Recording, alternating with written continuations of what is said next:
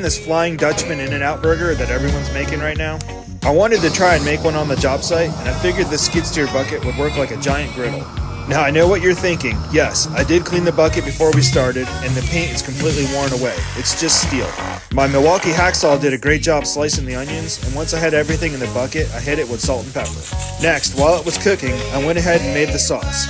Mayonnaise, relish, ketchup, vinegar, a little bit of sugar, and finally my homemade hot pepper powder. This stuff is dangerous.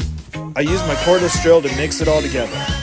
Honestly, this tasted better than I expected. It was really good. For the Flying Dutchman burger, there's no bread. You use onion for the buns. I got a little impatient waiting for the cheese to melt, so I sped things up with the torch. Here's how it goes onion, burger, sauce, another burger, more sauce, and finally an onion on top. These things were super messy, but man, were they delicious.